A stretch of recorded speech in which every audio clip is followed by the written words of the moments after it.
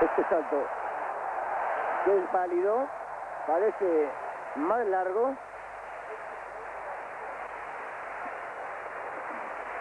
Y Powell parece reafirmarse y devolver al público con este salto el apoyo que ha recibido.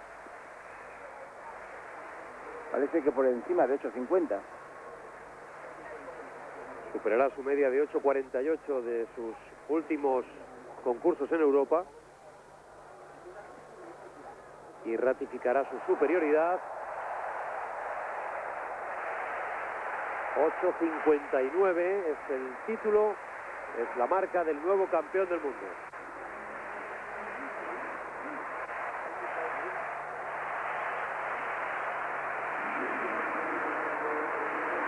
No ha tenido necesidad de ir más lejos Mike Powell. Y estamos a falta de dos finales apasionantes. Los 200 metros que previsiblemente van a ser la última oportunidad del admirable Carl Luis y el decatlón donde Dan O'Brien aventaja en 97 puntos a Edward Hamalainen. Ambos han pasado ya de 8.000 puntos a falta de los 1.500. Y aunque O'Brien corre muy mal los 1.500, parece que el margen que tiene debe proporcionarle la victoria con un grandísimo registro. Mike Powell su último salto, 8.59.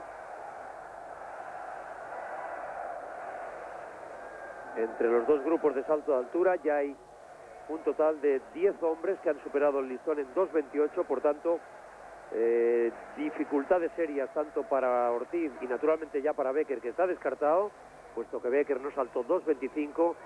Dificultades para Ortiz, puesto que solo irán los 12 primeros a la final. No hará falta saltar 2.31 pero si hay dos más que saltan 2.28 en el grupo que va más atrasado, Ortiz quedaría fuera.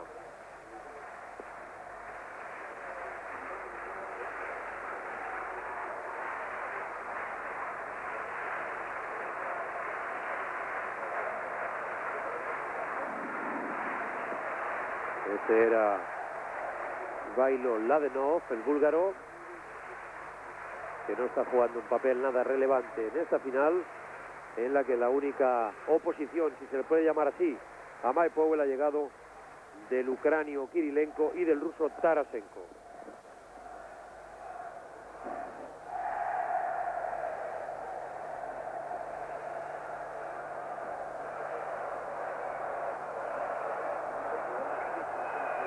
A punto ya de finalizar el salto de longitud y el triunfo de Powell es incuestionable.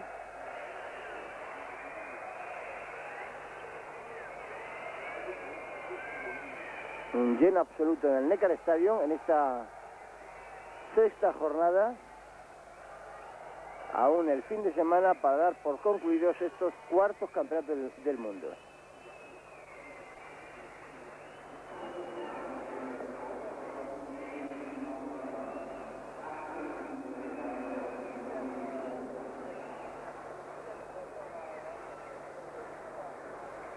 Este surafricano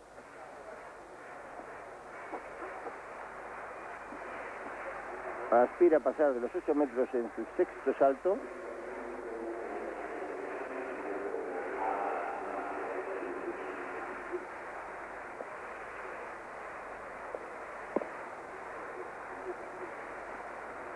Pero pocas más pueden ser las aspiraciones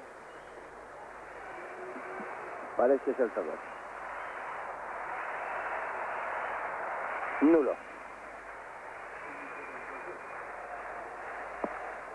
Push de Sudáfrica que ha saltado 7.93 como mejor registro.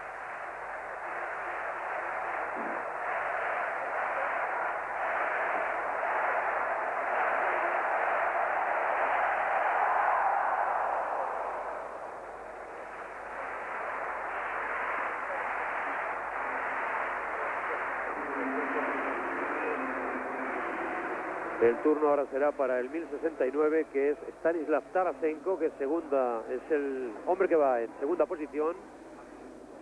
Hay que ver con 8.16. Se va a obtener aquí el, por lo menos hasta el momento, el subcampeonato.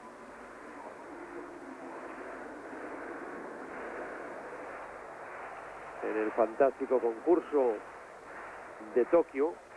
Powell 8.95, Luis 8.91, Larry Myrix 8.42 y todavía el cuarto Dietmar Happ 8.22.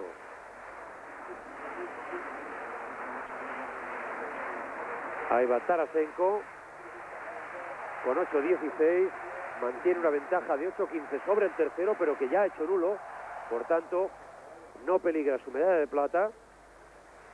Con él concluye, concluye el concurso y por tanto Powell que le va a otorgar a Estados Unidos su novena medalla de oro en este Mundial de Stuttgart. Segundo va a ser Tarasenko de Rusia y tercero Kirilenko de Ucrania que ha conseguido, es el único atleta que ha conseguido su mejor marca personal.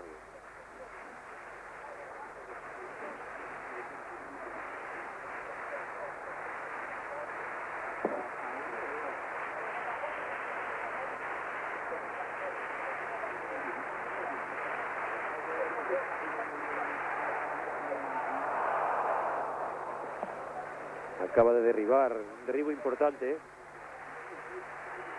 El japonés que está en el grupo de Becker, el japonés Yoshida sobre 2.28.